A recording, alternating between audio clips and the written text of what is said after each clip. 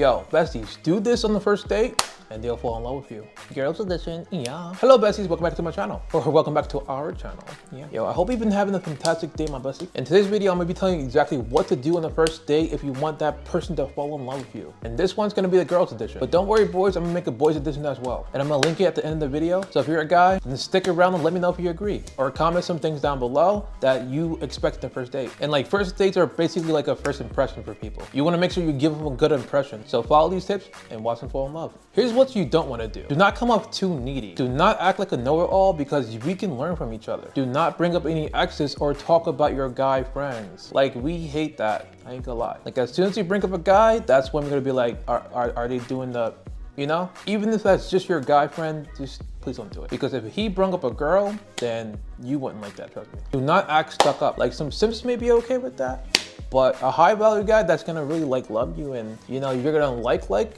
he, he's not gonna like that. By the way, boys, there's nothing wrong with simping. Just do not simp for someone that, that's not simping back for you. But girls, please just don't act stuck up. Be humble. Here's what I want you to do. If you're a clingy person, then that is fine. But save that until after you guys are dating, dating. Like ease into the clinginess. Don't just throw it at them because we're gonna get scared. Even if we don't say nothing about it, sometimes we're gonna get scared. Like, hey, yo, what?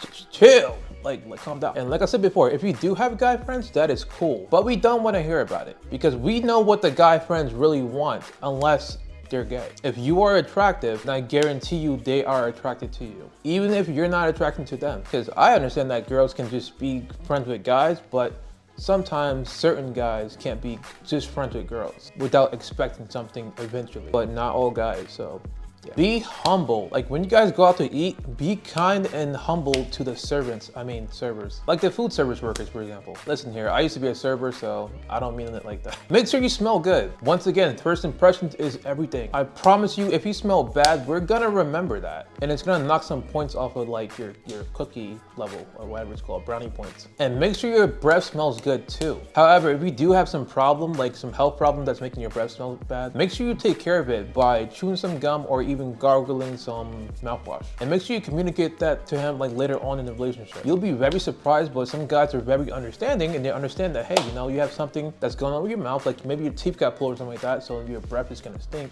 obviously. There's nothing wrong with that, just you know, make sure you're taking care of it because we like pleasant smells, you know? If you want a long lasting relationship, remember to be yourself. It's better to be yourself, right? Instead of a, a whole nother character, right? Because when you're being yourself, he's gonna fall in love with you, not this persona you put on. And if you're having trouble manifesting a specific person, or if you're a guy and want the guy version of this video, then click one of these. Make sure you guys like the video and subscribe to the channel for more videos, yeah. And I'll see you in the next video, bestie. Uh, per, period, yeah.